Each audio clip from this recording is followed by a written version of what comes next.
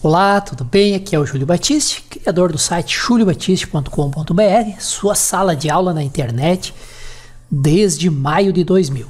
Mais uma parceria com o colega Manuel Jailton, criador do site mjailton.com.br, há mais de uma década na internet e criador de dezenas de cursos na área de programação, do Delphi ao PHP. O colega Jailton cedeu para nós mais esta série de videoaulas que são aulas de demonstração da nossa formação completa em JavaScript.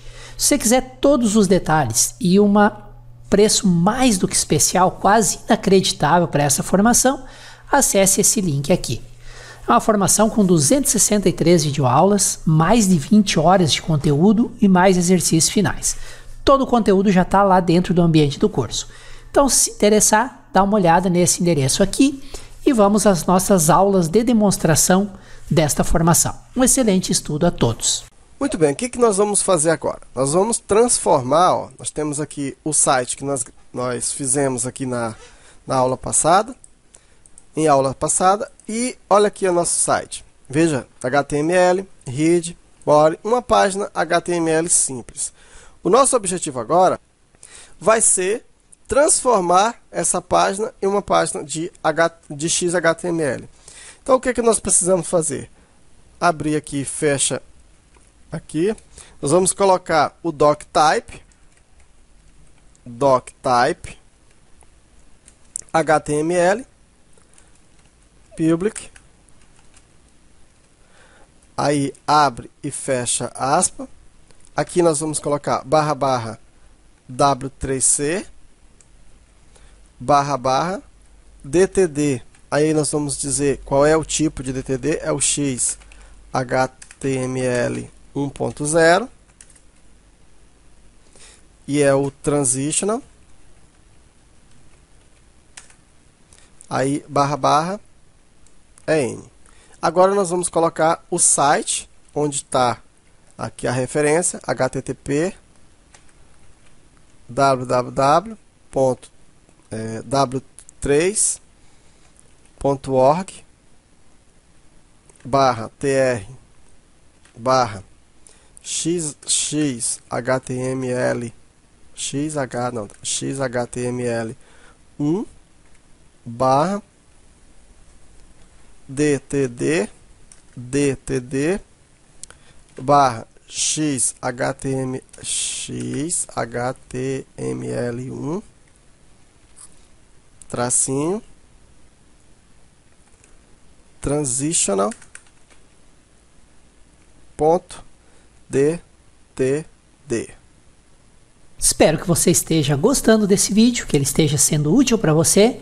Se estiver gostando, não esquece de deixar o teu like aí no vídeo. Inscreva-se aqui no canal. Ao se inscrever, você recebe aviso sempre que um novo vídeo é publicado. E se tiver dúvidas, comentários, críticas, sugestões e, por que não, elogios, por gentileza, use o campo comentários abaixo do vídeo. Legal? Então vamos continuar com a nossa lição. Certo?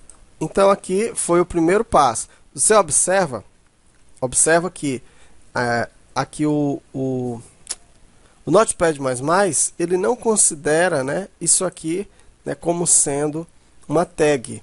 Observa aqui, aqui é apenas uma informação. Nesse momento estou dizendo assim, navegador, este documento utiliza o doctype transitional.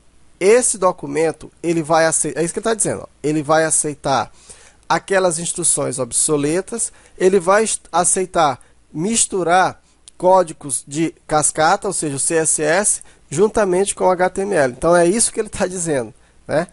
Aí, pessoal, só isso aí resolve? Não, só isso aí ainda não resolve.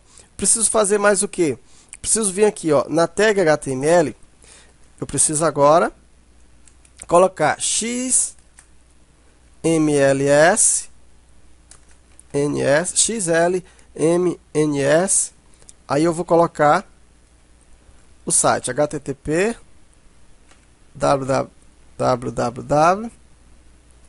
.w3.org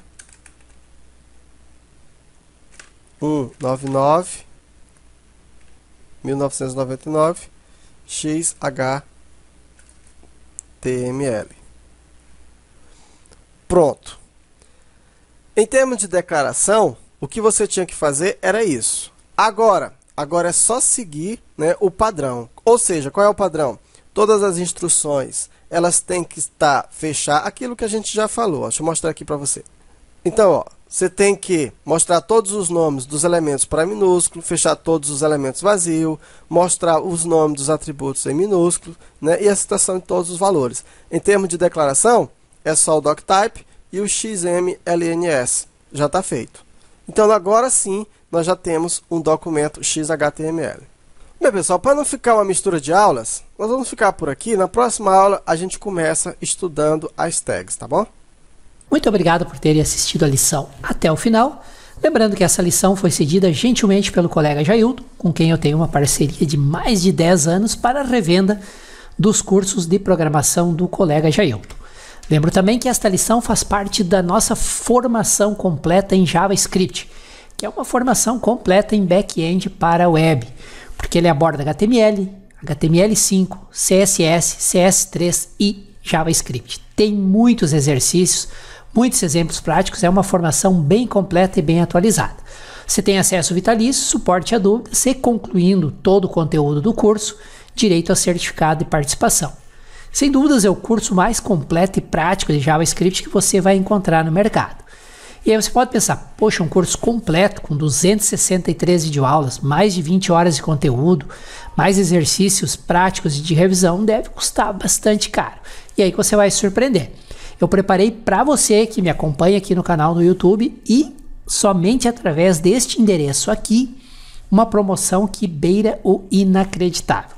Tenho certeza que você não vai acreditar o valor tão reduzido, tão legal que vai estar tá nesse endereço aqui. Mas aproveite que é por pouco tempo e são somente para os 100 primeiros.